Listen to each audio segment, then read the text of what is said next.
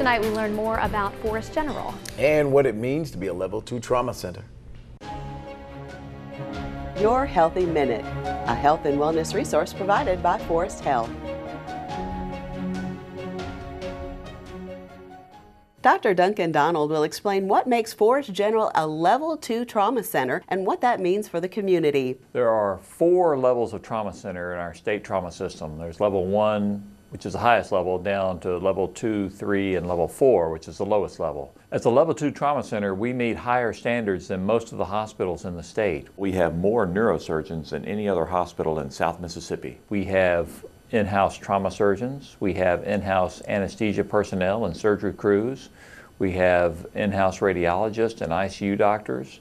We have a dedicated team of people who are awaiting arrival of any trauma patient so that they can be here and immediately available. Trauma can happen anytime. Now we have found that a lot of our trauma patients actually occur in the evening, sometime between 5 p.m. and midnight seems to be our highest volume for trauma patients coming to the hospital.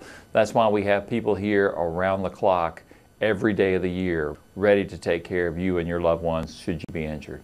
Our passion is taking care of those patients who have traumatic injury so that we can be able to give them the highest level of care possible thank you